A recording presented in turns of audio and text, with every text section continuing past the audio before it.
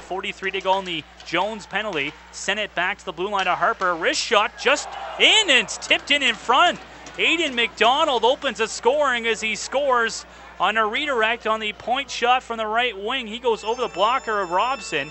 And that vaunted power play of Cowichan Valley capitalizes. 17 32 to go. It's 1 0 Caps. Well, we see early how Cowichan Valley likes to run their power play, and that's by getting pucks to the point and then putting those pucks on net with red jerseys going to the front. And McDonald just came out of the corner after making a pass up to the point man, and the puck came from the high point, and he touched it on the way in.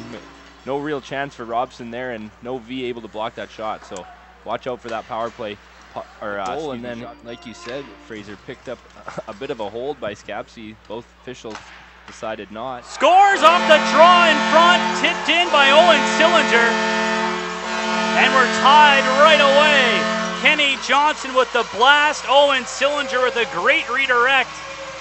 And it's 1 1 as he tipped that over the blocker bar down and in, and bang, bang, it's 1 1 in a blink of an eye with 4.08 gone in this first period. Fraser, you didn't even get a chance to make the call there. My apologies. Still breaking down the play by Leahy, but an excellent shot there by Johnson. Sillinger in the right spot, tips that one almost on top of the goaltender, straight up into the top of the net. Ryden. He'll send it around to the right wing and miss the stick of Cruikshank, but now he finds it against Dolman, walks to the high slot, takes the shot, scores!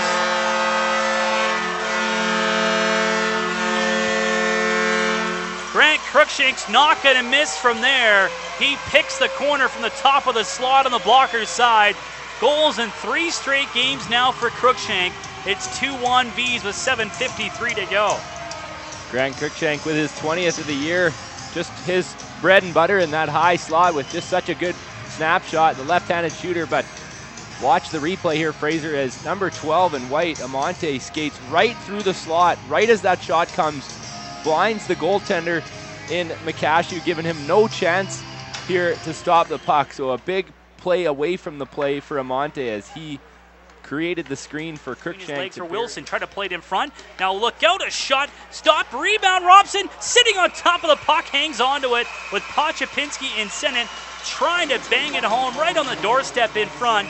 Sennett came out of the corner, had a couple of good looks. Robson laid his pads down and then sat on top of the puck as Pochopinski was whacking at it. In tight again, and Robson showing some great awareness to hang on to the puck and not. Now at center ice, Rissling brings it back in with 20 seconds left. On the right wall, applies the brakes. Back up top, Riplinger playing the point here across the Leahy left side. They'll trade positions. Leahy gives it off to Riplinger. Back to Leahy. One timer. Up high. Rebound in front. Tipped on. They score. No. Now they score.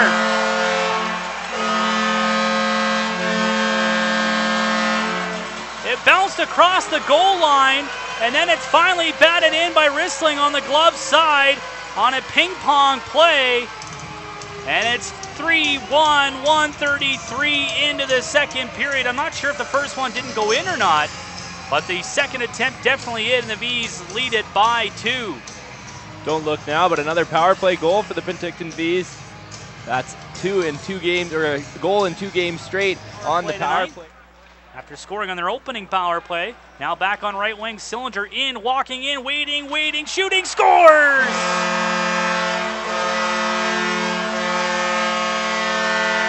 Owen Sillinger outweights everyone down low on a two on one after a bad line change by Cowichan Valley.